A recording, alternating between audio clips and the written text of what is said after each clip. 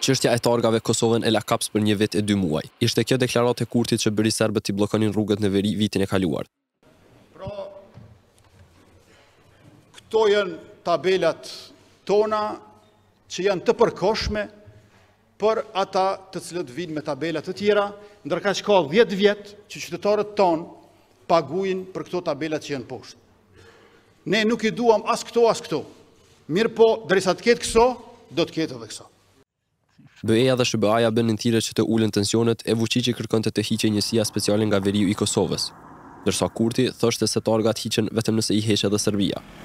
Pas dhjetë ditëve tension, Lajçak njoftoi se më në fund është arritur një marrëveshje, ku simbolet shtetërore në targa do të mbulohen me ngjitës. Vuçiqi u shpreh i kënaqur me marrëveshjen ndërsa Kurti tha se tash e tutje Serbia do të mësohet me reciprocitet. Muaj kaluan, asgjë nuk ndryshoi, pos që në një rast korriku, policia u njoftua se targat RKS në Mitrovicë ishin mbuluar me ngjitës KM dhe stema e Kosovës ishte mbuluar me atë të Serbisë. Kurti njoftoi se nga një gushti do të nisë edhe riregjistrimi i makinave që kanë targa të lëshuara nga Serbia. Rrugët në veri u bllokuan përsëri, ndërsa SHBA-ja kërkoi shtyrjen e zbatimit të këtij vendimi për tridhjetë ditë.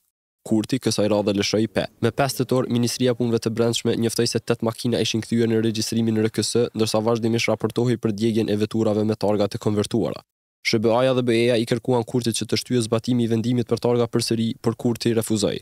Superfuqitë perëndimore u shprehën të zhgënjyera. Faza e parë për zbatimin e vendimit ishte qortimi, por këtë gjë refuzoi ta bënte drejtori i policisë në veri, Nenad Gjuriq, i cili më pas u shkarkua.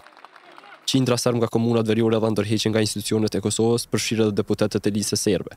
Borrell njoftoi se prapë nuk ka marrëveshje, e fajin për këtë ia la Kurtit, ndërsa presidentja Osmani akuzoi Borrellin për njëanshmëri.